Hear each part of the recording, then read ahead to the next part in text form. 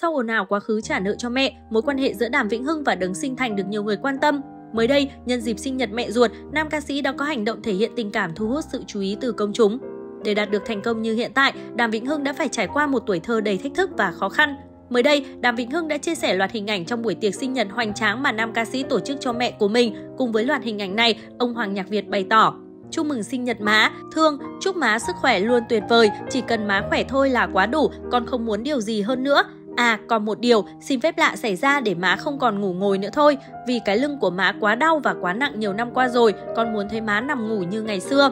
Trong bài đăng của mình, Đàm Vĩnh Hưng có thể hiện tình cảm vô bờ mà anh dành cho đấng sinh thành. Đặc biệt, giờ đây, khi đã là cha trẻ con, nam ca sĩ càng hiểu hơn những khó khăn, những tâm tư của bậc làm cha mẹ để rồi hiểu và thêm yêu mến, kính trọng mẹ của mình. Ngày xưa, lúc nào con cũng muốn có má bên cạnh, mê má, cần má, nhớ má, dù là đang ở sát bên, y hệt Polo bây giờ, lúc nào cũng cuốn lấy ba không rời và miệng luôn nói nhớ ba, nhớ ba mà, con khóc rồi, má dáng khỏe để cùng con thấy Polo cưới vợ nha, thương má, Đàm Vĩnh Hưng chia sẻ.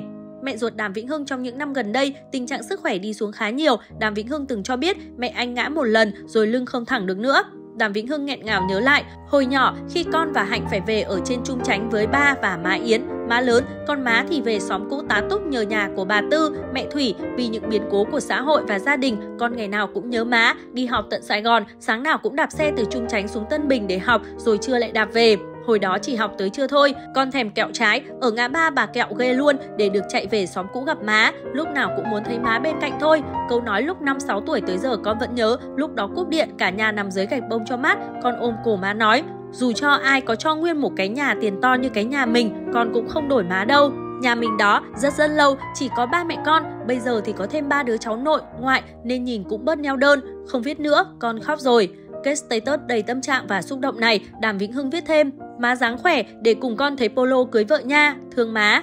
Vào năm 2016, Đàm Vĩnh Hưng từng livestream khóc lóc, tố mẹ ruột cờ bạc và nợ nần và vay số tiền lớn từ bạn bè, người thân, xã hội đen và thậm chí là từ fan của anh. Để có thể trả nợ cho mẹ, anh phải nài lưng chạy show, ước tính số tiền cả vốn lẫn lãi bản thân chi trả trong suốt 30 năm lên đến 20 tỷ. Theo nam ca sĩ, việc anh livestream trên mạng xã hội nhằm mục đích mong mọi người xung quanh tránh cho mẹ vay tiền, cũng như mong muốn mẹ anh thay đổi, không tiếp tục vướng vào chuyện đỏ đen. Chính vì thế sau khoảng thời gian ồn ào này, nhiều người không khỏi tò mò về mối quan hệ hiện tại của Đàm Vĩnh Hưng và mẹ ruột.